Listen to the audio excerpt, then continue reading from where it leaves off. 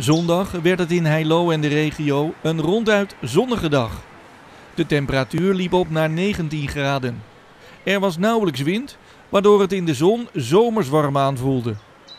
Bij het maalwater was het weliswaar rustig, maar waren er toch al mensen bij en in het water te vinden. In het stationscentrum waren de terrassen ondertussen goed gevuld.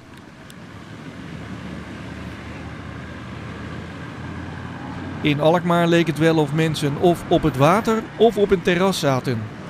Op de Singelgracht was het een komen en gaan van diverse soorten bootjes.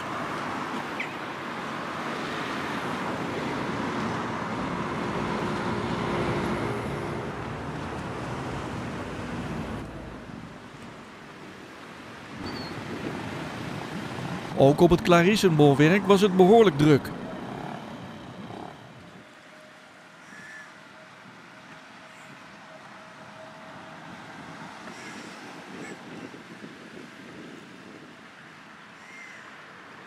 De Voordam, naast het Waagplein, lag aan beide kanten van de gracht vol met bootjes. En ook daar was het een komen en gaan.